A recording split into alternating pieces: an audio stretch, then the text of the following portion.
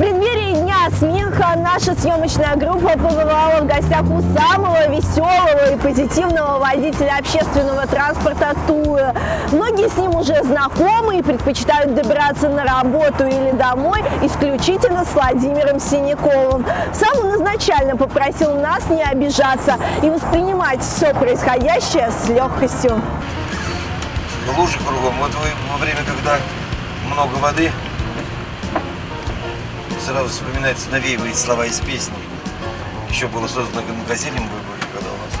Газель, мы гоняем на тебе зимой и веснами. Газель, если кончится бензин, ударим веслами. Была возможность отучиться на агронома в Москве. Не пошел, пошел на автоэлектрика. Была возможность отучиться, посылали от военкомата уже на военного фельдшера, на медицинского фельдшера. Но опять и по образованию водитель автоэлектрик. Ну, основные моменты, вот все, исходя из жизни, вот эти моменты. Как художник-оформитель я все вот эти си- ситуации рассматриваю. Ну, пришлось вот, так как некогда рисовать уже, пришлось все внутренние состояния, которые, эмоции, чувства, все, что видишь, перекладывать на стихи. Если где-то рисуешь, конечно, можно там 7 раз не получилось, 8, 9 терпеливо перерисовываешь. Здесь уже приходится шлифовать стихи. Дедов своих не видел и не знал, и на руках у них счастливый не сидел. О них лишь от родителей слыхал, про них лишь в день победы песни пел. Чтобы нам с тобой встретить здесь рассвет, они остались вдалеке, навеки, там.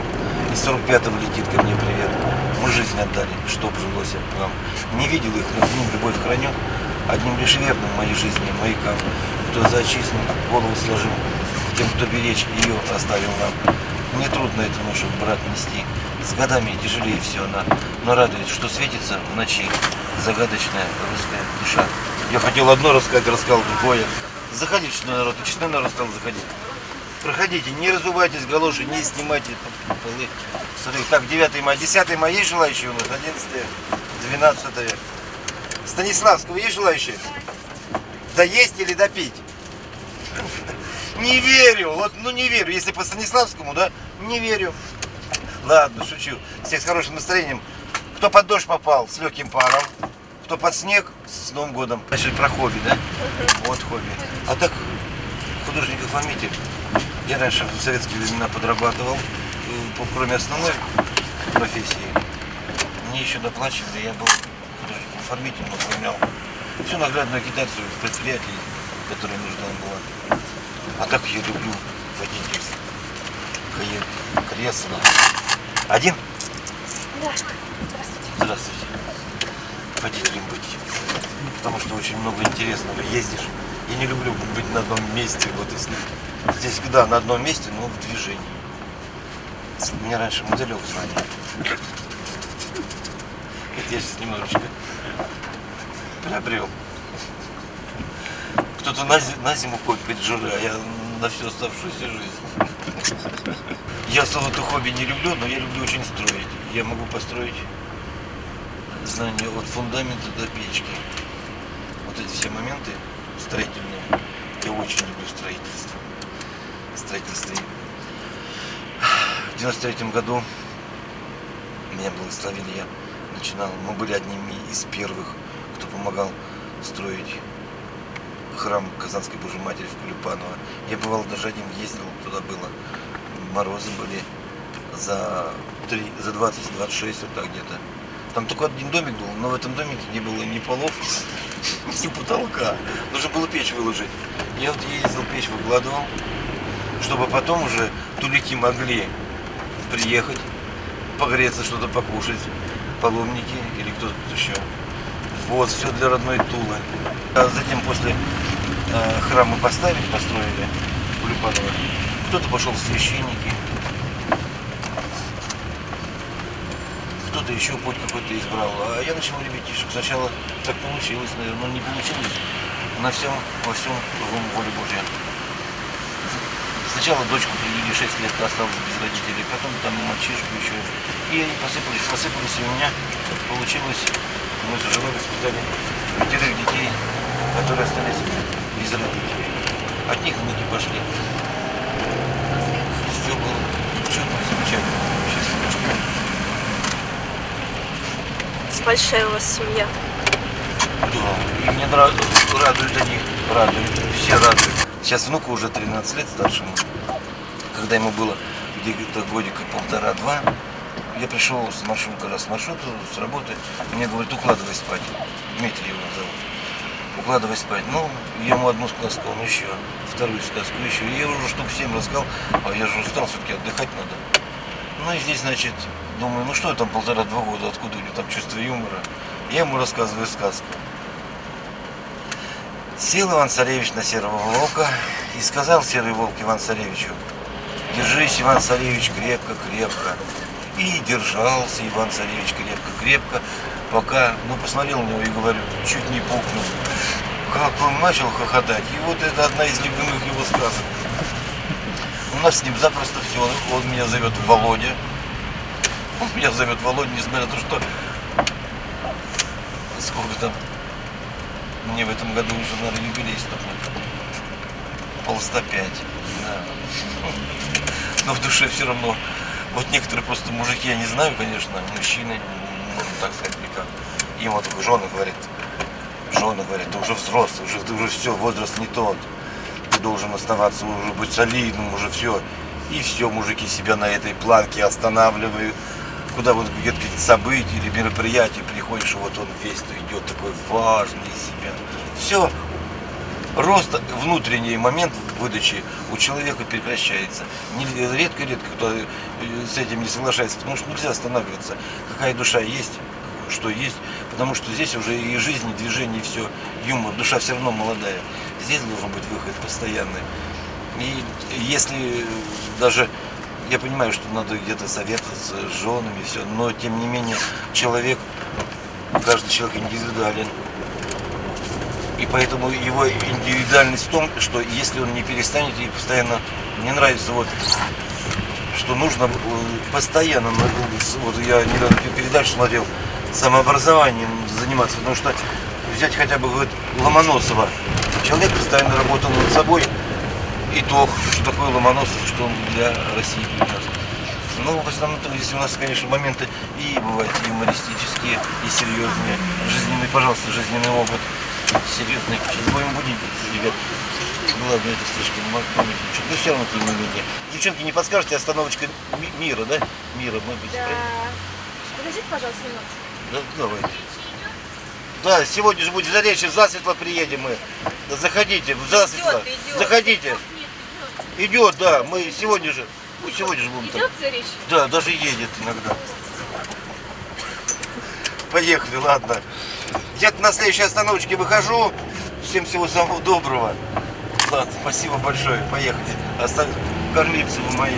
Моменты разные бывают. Даже иногда заходят, я начинаю шутить, а мне говорят, «М, можете не шутить. Я там, например, вчера, позавчера похоронила сына, мужа. Мы эту проблему сразу поднимаем в момент, чтобы человеку поднять настроение. Он уже выходит, как-то чтобы, и он уже видно, что по глазам у него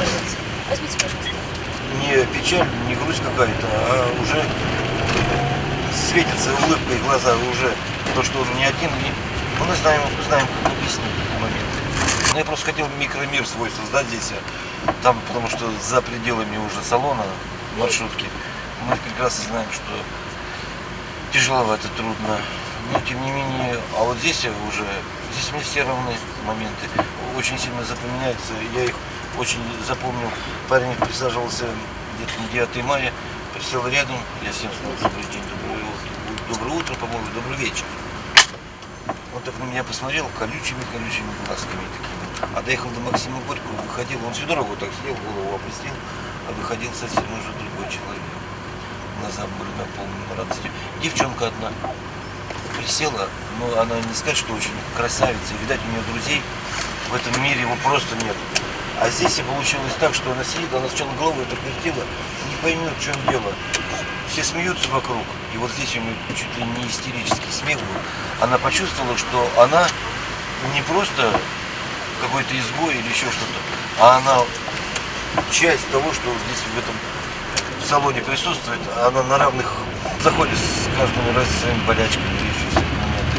И вот здесь, когда они переключают все мясомудрия, даже ходя, несмотря что внутренне иногда может быть, и у меня настроение плохое, а здесь вместе побыли все, один народ, побыли все вместе, настроение поднялось, и все пошли в разные стороны, но тем не менее, вроде бы как вместе побыли. И разошлись вроде на какой-то вот разный. Там он пришел на работу, вчера ездили женщины и говорили, все, теперь ругаться ехал, говорит, поругать сейчас хотел там, не знаю кого там, может детей, может быть э, мужа, а у меня, говорит, настроения больше нету, чтобы ругаться, уже совсем по-другому. Я говорю, вот этот момент, э, ниша добра, свобода, жизнь-то проходит, наша жизнь проходит, она проходит в работе, она проходит где-то в каком-то пребывании вне дома или еще что-то. Общение-то вот, а мы же мы один народ. Я радуюсь, что я видеть своего народа.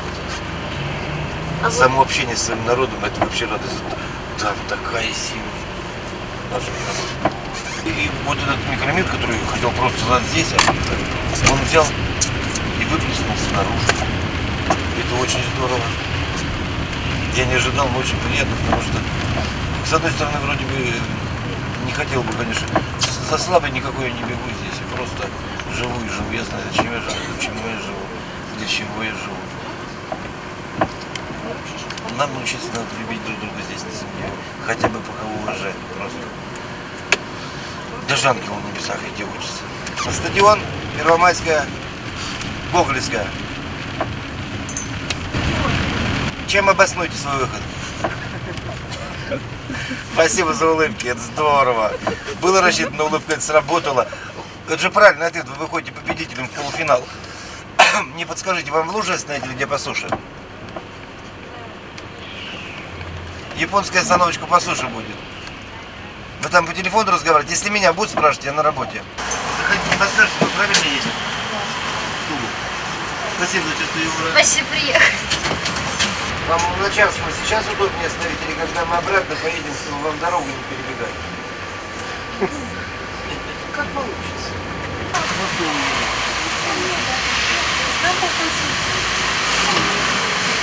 А сейчас давайте обратим внимание, впереди нас бежит стадо газелей, особи различной окраски. Сейчас период миграции, их можно встретить в любой части города. Самца от самки можно определить по заднему бамперу у самца он или отсутствует, или помят вечером где-нибудь да забуриться. Парень, ты все равно здесь стоишь, можете попросить? Вы же все равно здесь стоите, да? Если нас будут спрашивать, мы на Зеленстрой поехали, ладно? Спасибо за чувство юмора. Да это прикалывается, не бойтесь. С наступающим праздником вас 1 апреля. Будьте бдительны. Для всех зрителей Телетулы и всех туликов мои пожелания с наступающим 1 апреля, еще и в петровские времена он звучал, оттуда же пошло. И вроде бы, с одной стороны, день дурака, а, но мы подразумеваем здесь юмор, не а, обзывание кого-либо в чем-либо. Дело в том, что завтрашняя ситуация нам дает возможность какую? Мы можем пошутить друг с другом и на это не обижаться потому что и, и этот день соответствует именно шуткам. Мне не нравится вот эта формулировка, я никогда с этим не смирюсь, что не мы такие, а жизнь такая. Извините, мои родные, а кто эту жизнь проживает, кто ее создает? Это какой народ, такая и власть. Все Господь посылает. Как будем относиться друг к другу? Если мы будем по-честному, значит, естественно, и честность, а нам же нам и вернется. Если будем с любовью, любовь и вернется. Вот я не ожидала, она мне выплескивается, когда мне даже если тяжеловато, молчу, то начинает салон сам почему-то, мне так кажется, работать, начинает подбодрять что-то. Мне кажется, что, ну, они не знают ту ситуацию, в которой я нахожусь. Но, тем не менее, мне хотелось бы, чтобы все, если вот радостно чувствуют себя в нашем салоне, хозяин салона молодец, спасибо, предоставил нам место для полигона, для творчества, э, чтобы больше, конечно, с любовью относились, хотя бы для начала с уважением друг друга. Ну, потому что, ну, правда, один народ, нам есть что делить друг с другом и разделять это уважение и любовь друг к другу. Конечно, хочется. Ниша очень свободная и добра. Хоть и по беззаконию, как говорится, по мере увеличения беззакония во многих охладеет любовь, а беззаконие мы творим сами. И весь в этот момент. Стараться выходить из этого. Да, один Господь безгрешен, но тем не менее как-то стараться все-таки поступать по совести, потому что э, то, что не по совести, благого какого-то не принесет.